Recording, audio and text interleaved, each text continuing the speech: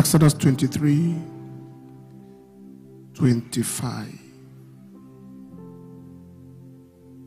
And you shall serve the Lord your God, and he shall bless your bread and your water, and I will take sickness away from the midst of thee.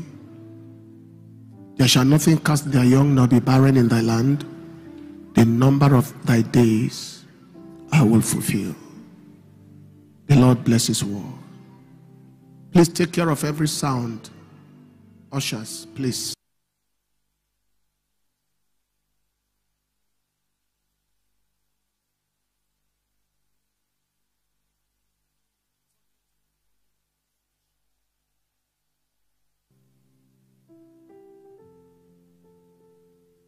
Part 3.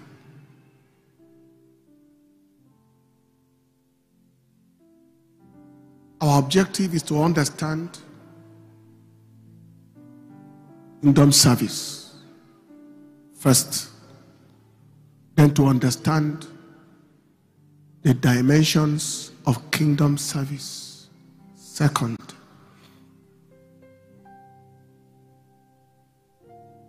and then to understand keys to acceptable and profitable service third. Then to understand the profit of service. The Bible made it clear that two major actions confirm man's dedication to God according to Matthew chapter 4, verse 10, and also Luke chapter 4, verse 8. Thou shalt worship the Lord thy God, and him only shalt thou serve.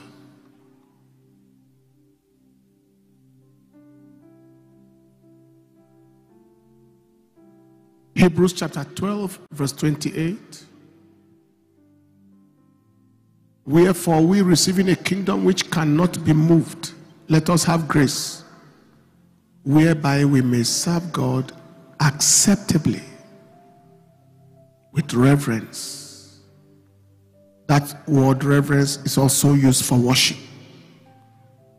So we have two assignments in our dedication. Number one, is worship, and number two is service. Worship and service.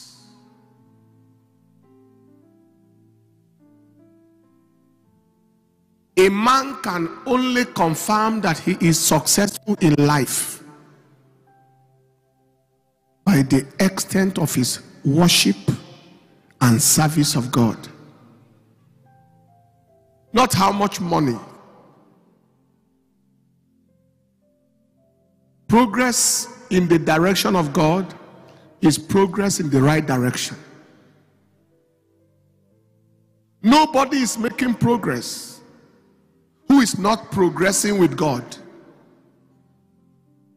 You measure your success in life by your success with God. People may clap at clap for you and say you have succeeded. But success with God equals success indeed. We shall be looking at service in today. Service is not just an ordinary activity where somebody say let me just do something to help church or help god. Service is a walk of covenant. Service to god is a walk of covenant You shall serve the Lord your God, and he shall bless your bread and your water. It's a covenant. There is something you do, and God does something.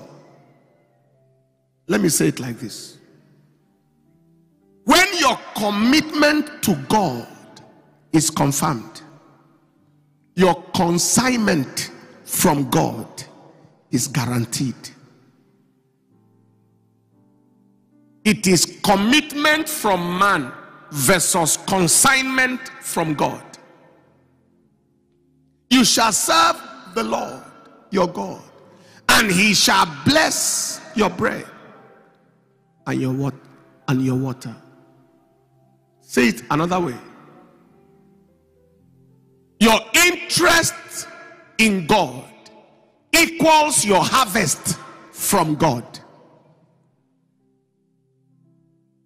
There are people who want harvest from God where they show no interest in God and His work. There are people who are expecting consignment from heaven where they show no commitment to heaven's assignment. It doesn't work.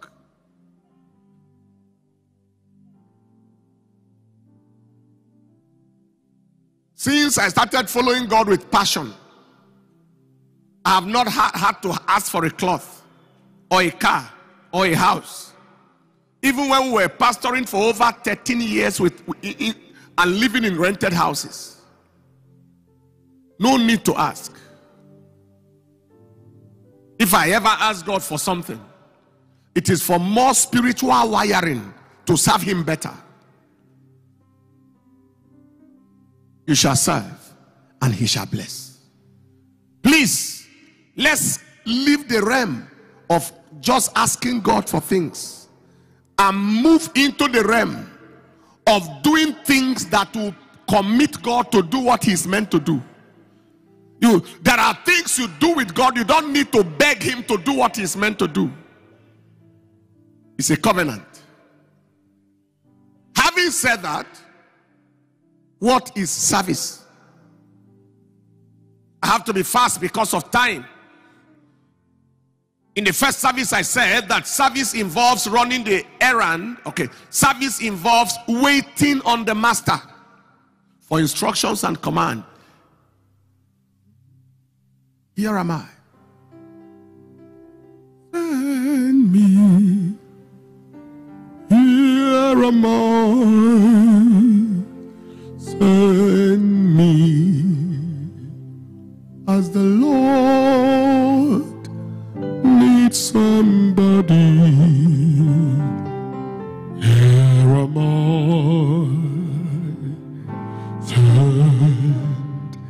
Me. I will go.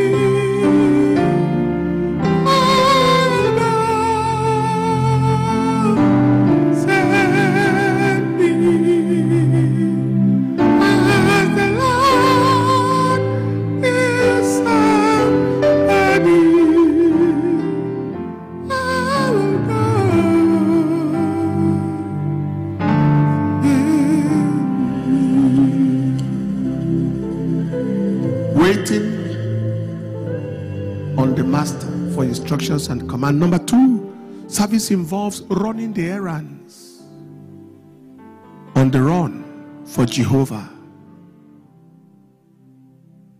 Number three, service involves identifying and meeting the needs of the master. We use the Shunammite woman meeting the needs of the man of God as an example of kingdom service. Number four, we said service involves making a difference in the world of the master. You are not just in church for nothing, you made a difference. Lord, make me a practical instrument for use. Use me, Lord. Lord, make me a practical instrument for use. Use me.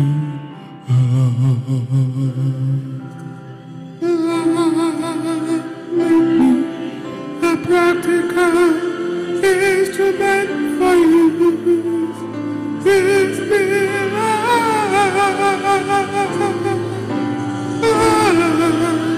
Make me a practical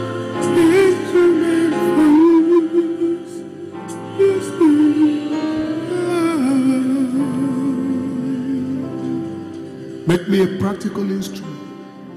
A practical instrument. It means identifying and meeting the needs of the master. Number four, service involves making the difference in the world of the master. And number five, service involves filling the vacuums in the assignment of the master. Vacuums. Where can I be of use? Where he leads me, I will go. In the army, where he leads me, I will go. In the army, where he leads me, I will go. In the army. I'm a soldier in the army of the Lord.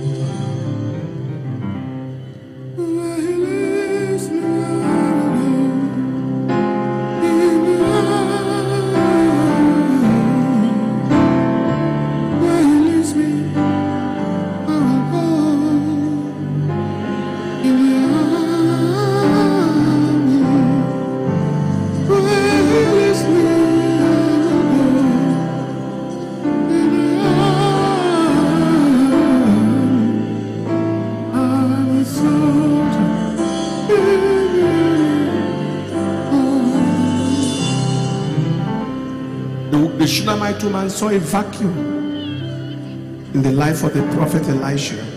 She filled the vacuum. Second Kings chapter 4, verse 8 to verse 9. You don't allow vacuums to exist where you are in the house of God. Finally, service involves addiction to the satisfaction of the master you are addicted. You want to you you want to please him. Addiction to the satisfaction of the master. Acts chapter 16 uh, chapter 9 chapter 9 verse 6 on the way to damascus paul the apostle was asking lord what will you have me do what do you want me to do? I'm available. What do you want me to do? What do you want me to do? You are addicted.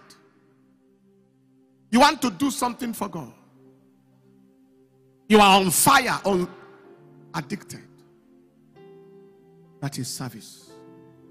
What are the dimensions of service that you can have?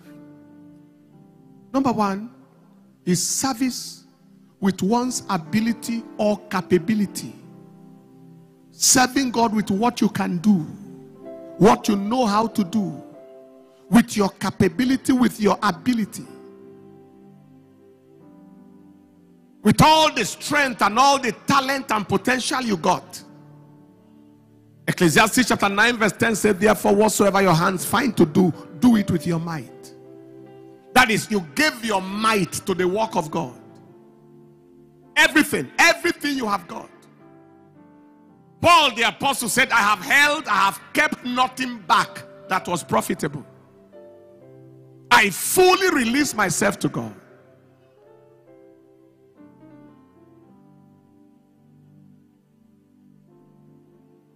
Colossians chapter 4, verse 12. Please handle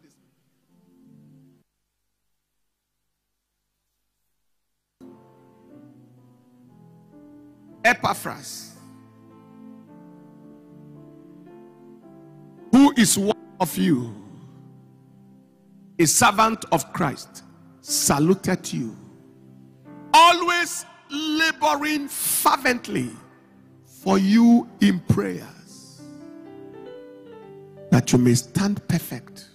That is, you put your everything you have got is pushed into God. Physical ability, mental ability, spiritual ability. That is, there is nothing you know how to do that God needs that He will lack. Nothing. Nothing you know how to do. No wisdom in any realm you carry that God needs and He has to beg you for it. Service with one's ability, with one's talent and potential. Number two is service with one's resources. Serving God with your finances, with your money.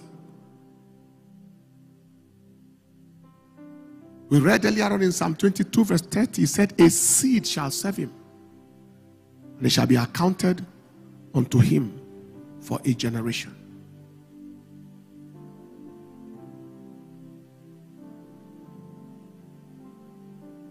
Chronicles chapter 29, verse 5 to 7. David was speaking to the elders of Israel how he allocated the gold for the things of gold and the silver for the things of silver and for all manner of work to be made by the hands of the artificers. He said, And who then is willing to consecrate his service? He was talking of giving silver and gold, and he was talking of service to the Lord. Verse 6. Then the chief of the fathers and the princes of the tribes of Israel and the captains of thousands and of hundreds with the rulers of the king's work offered willingly and gave for the service of the house of God five of gold, five thousand talents, ten thousand drams, silver, ten thousand talents, brass, eighteen thousand talents, and one hundred thousand talents of iron. They gave for the service. It is not possible to be committed to service and not be sacrificial in giving. It's not possible. Committed service goes hand in hand with sacrificial giving. It's not possible. I am a pastor preaching. I don't have any other life other than ministry. I don't have another life. Some people even think we don't eat or we don't have the right to eat. We don't have the right to be tired. For example, after the fasting and prayer in the evening, there will still be a lineup of people waiting. Now, as much as we have donated ourselves to that extent, it doesn't exclude the release of finances that it brings our way into the work. It is part of our service. I can't say now that I have given myself to God, and I don't need to give money anymore to God. It is other people that can give now. Nothing like that. Am I communicating? God is helping myself and my wife. We're building a church now. It should be completed very soon. And then we'll pick up another one, pick up another one. And God has used us to do such things, not just for Dunamis Church, Methodist Church, just like that across board. But there are people who say, I'm, I'm serving God enough. When it is offering time, the basket is passing, no need. Even there are pastors who take offering and they don't give offering. There are pastors who preach tithe and they don't pay tithe. They are the Melchizedek. All of you give the Lord, but my but my hand will remain empty. I told some people, some, some pastors, some time ago during a pastor's meeting. I said, if there is anybody in the church that is more interested in the church than you, is giving more rapidly, more frequently towards the work, more passionately, that person is a real pastor. Hand over the church to him. Because the, because no other person right there is meant to be more interested and more passionate about something you said God called you to do. Hallelujah. Our our our giving is part of our kingdom service. Having said that, how do we serve God effectively? Because I have a lot of people, I've come across many people who say, I've been serving God for 20 years, I've been going to church for 30 years. It looks like some people come newly and just see results. I've been going to church, I've, I've been serving God for long, nothing to show. Maybe there may be some checklist. I was in the aircraft traveling someday and the pilot called me, said, please come to our cockpit, come to our cockpit, come, come to our office. And I entered where you have all the things here, here, here, here, here that they pull before they fly. Please pray for us, and so on and so forth. And I saw a list of almost 30 something things. I said, What is this? He said, It is called checklist. He said, Before you take the aircraft from the ground, you must mark all of it until all is correct. You can't take off. That is, whatever, landing gear in place, whatever, whatever, you have to check and checklist. Even if one thing is, is not correct, you are flying at your own expense and at the danger of other lives because there is no mechanic in the air. That's one of the number one law in aviation. Always remember that there is no workshop in the air. Praise the Lord. In the same manner, we may have a checklist in our kingdom service to be sure that we fly and fly well, to be sure that we are not assuming that things are correct. And number one, acceptable and profitable service. Number one, service must be done heartily and lovingly. You don't serve a God you don't love. You don't serve a God with whom your heart is not. Heartily, lovingly. You love Him so much you want to do what can I do? Number two, service must be done willingly. Whenever it looks like somebody is putting you under pressure to serve God, that service is a, an unrewardable service. You are doing it because the head of department is on your neck, or because pastor said this and that, and you are doing it grudgingly and murmuringly. It is rewardless. Thirdly, service must be done joyfully. Serve the Lord with gladness. According to Psalm 100, verse 2, with gladness, excitedly. Happy doing the work of evangelism, excited doing the work of ushering, excited doing the work of music ministry, excited controlling the traffic, not frowning and angry at everybody. Number four, service must be done fervently and passionately. These are things we dealt with in the previous services. Fervently, passionately, on fire for God. Not lukewarm water, on fire for God. Number five, service must be done in sincerity and truth. Don't be crooked. Don't be crooked. Don't look suspicious in your service. Don't look like you have another thing in your mind.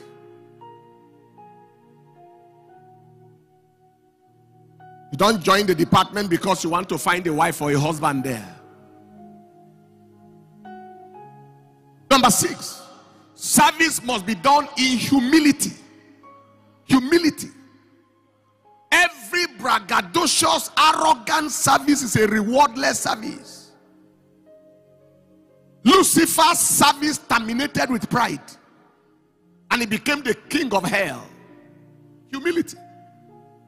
You are a billionaire, but clean, clean the, the, the, the floor. If, if as God leads you to such a department, and relate with the unemployed young man, relate with him, calm down.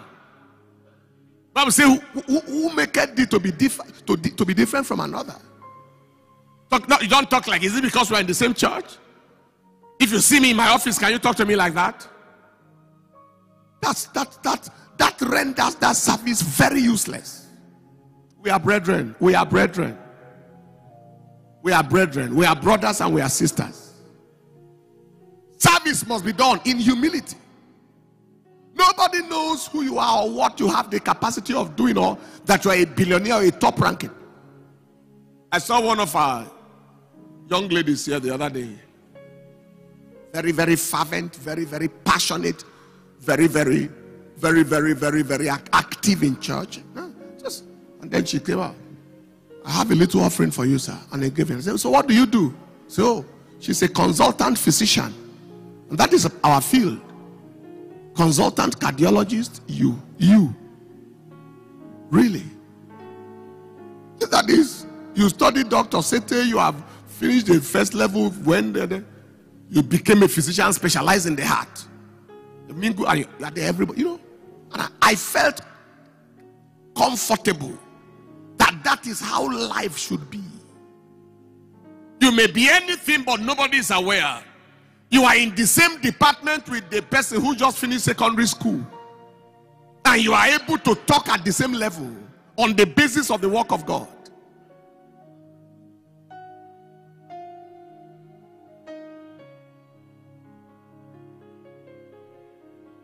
It must be done in humility. Number seven, service must be done in uprightness and godly fear.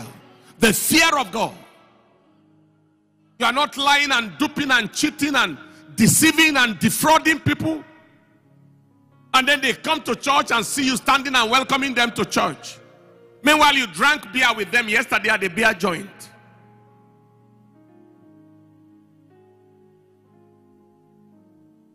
That is terrible. It must be done in uprightness and godly fear, not with compromise. Otherwise, you'll be you can be in church for donkey years. No, no result. Number eight, Service must be devoid of eye service and men pleasing. Service to God. You are not doing it for, for, for a man to see. You are not doing it for a human being to tell you thank you. There are people who complain and murmur all the time. I have been in church all this while. Nobody even recognizes that I'm there. All this labor, all this effort, nobody is telling me thank you. If, see, if a human being tells you thank you, you have received your reward. Be between the thank you of man and the thank you of God, which one do you prefer? I don't care whether a man thanks me. All I want is my father at the end of my journey to say, Well done and welcome, thou good and faithful servant. That's all. Hmm. At the end of my race, when I see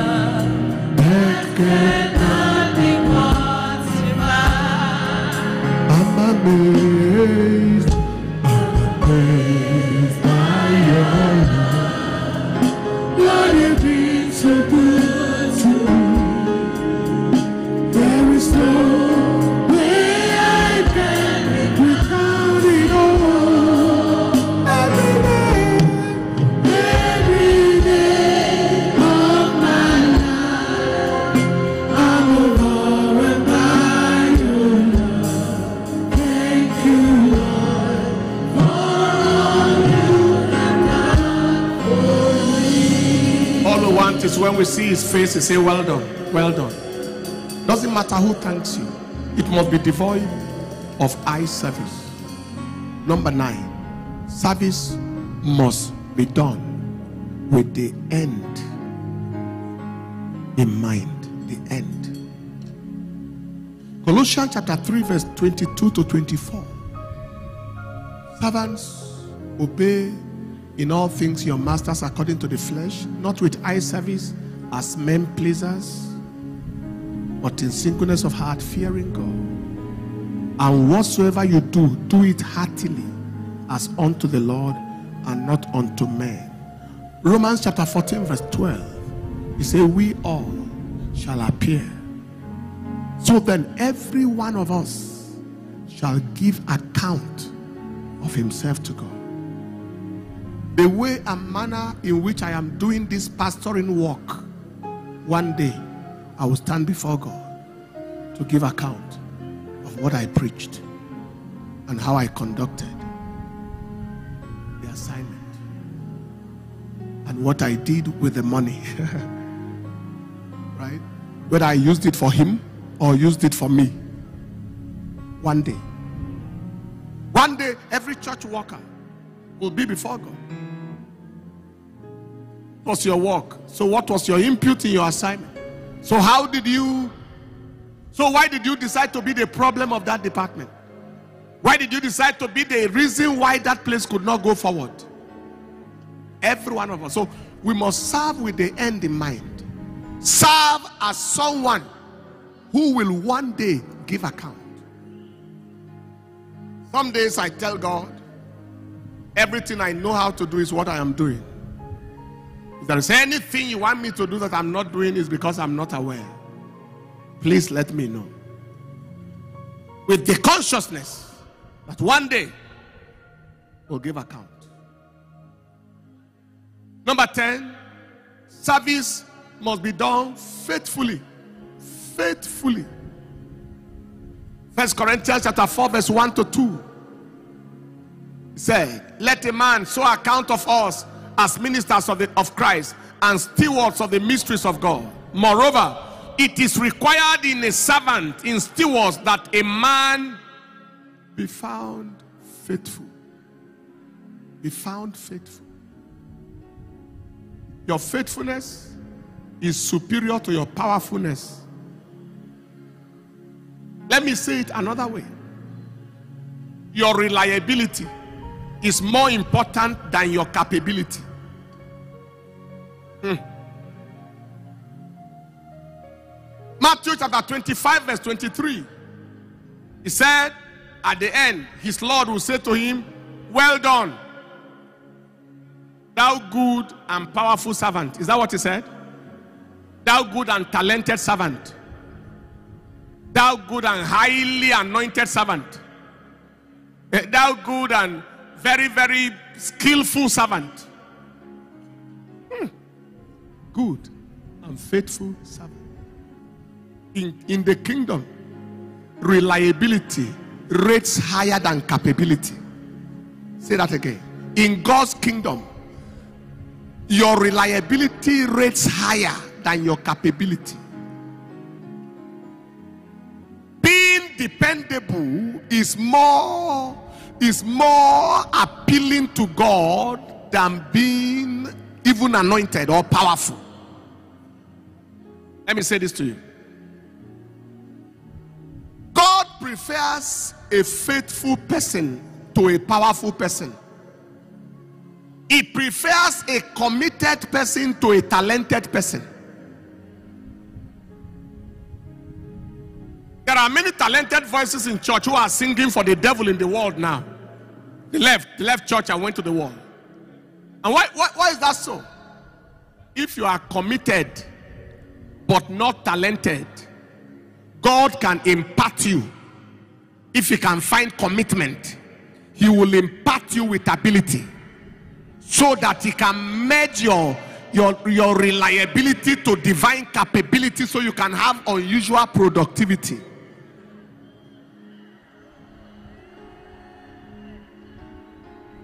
You hear what I said?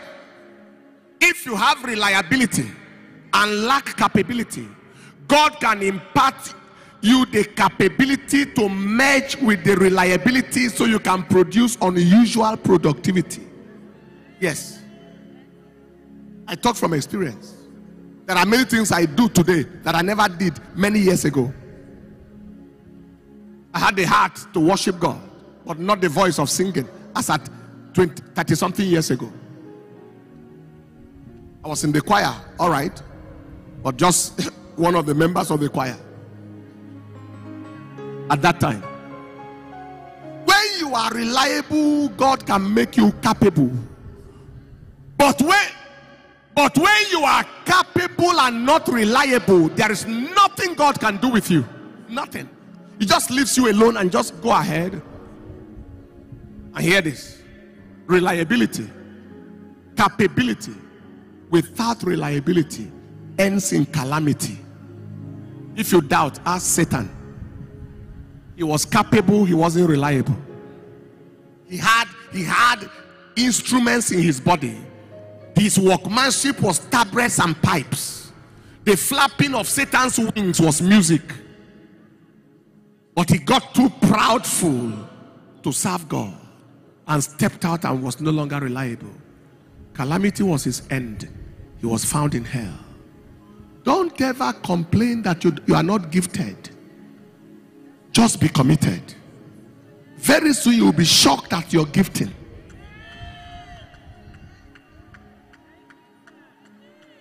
Because there is nothing God cannot do. If he can turn water into wine, what, what can he not turn a person into? If he can make a donkey to prophesy, what can he not make out of you? If he can turn dust into person, he molded dust and turn it into person, what will he not turn somebody who is already a person into?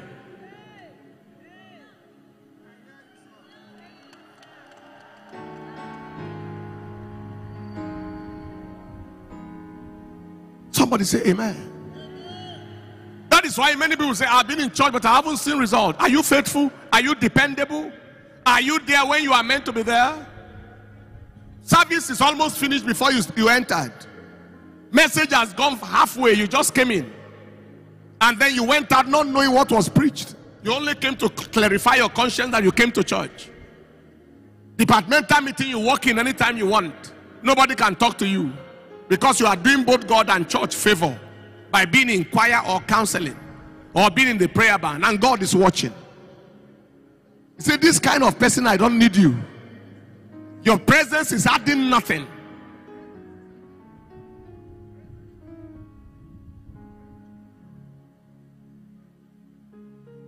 Is God speaking to somebody here?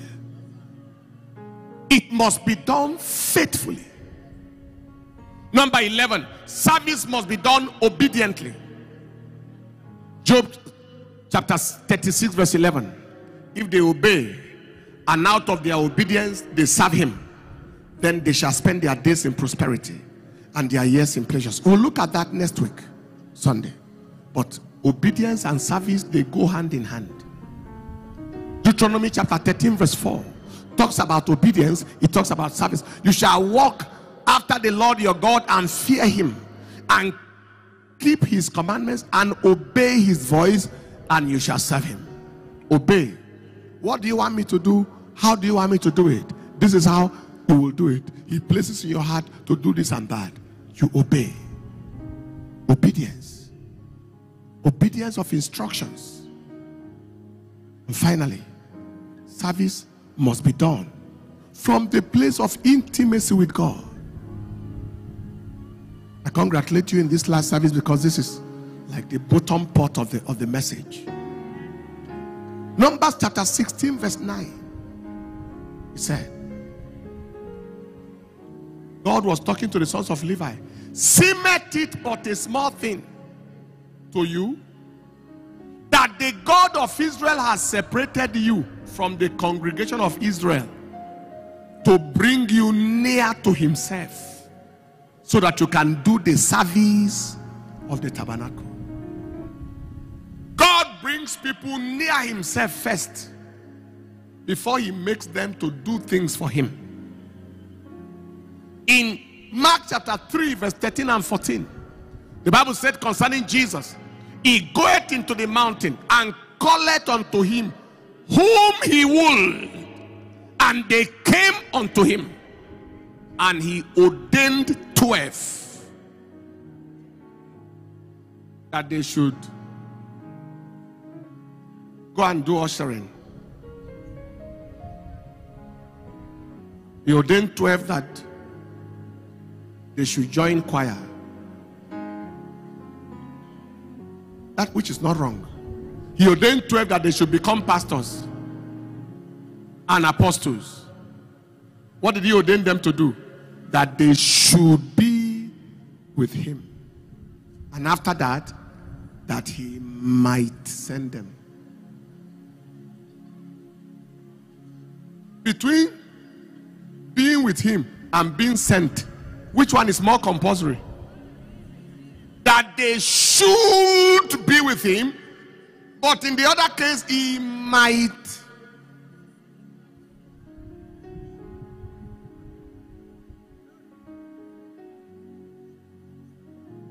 God did not create Adam because he was looking for a gardener. He created Adam because he was looking for a partner.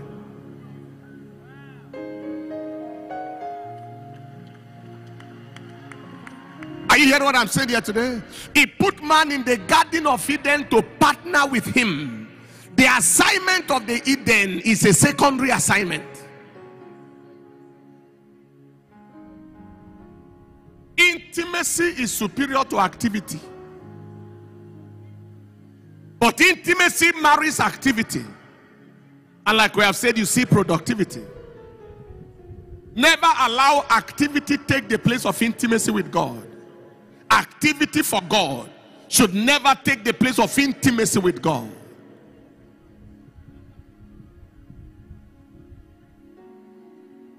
Don't do the work of the Lord and you don't know the Lord of the work. Am I communicating? There are two things that we need walking with God and walking for God. But walking with God must come before walking for God. You don't do the work of the Lord and forget the Lord of the work.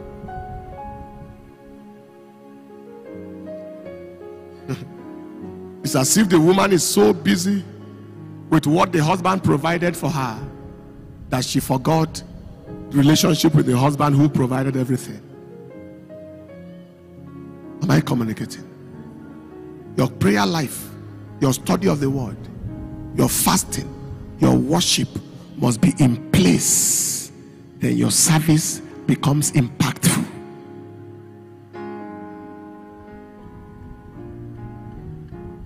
It must be in place. It must be in place. You are a worshiper. You are you are you are a faster. You are a student of the word. And then while you stand as an usher, you stand loaded. Standing in the place of intimacy with God.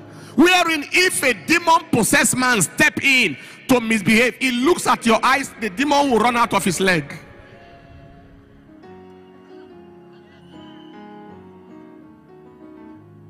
You know, let me give you an example of intimacy and activity. When we were medical students, some of our medical students uh, in the class, they would go for evangelism in the ward, and some went to psychiatry ward, no mad people's ward, to preach. And as they came to preach, the, one madman looked at one of the of them. He said, "Oh, you two, you are coming." Other people are coming, you are coming too. You. The person reversed. because the devil know, knew her spiritual weight. He knew the capacity. You are not permitted to be around here. These people can do evangelism. They are on fire. They have they are working with God. You who are you working with?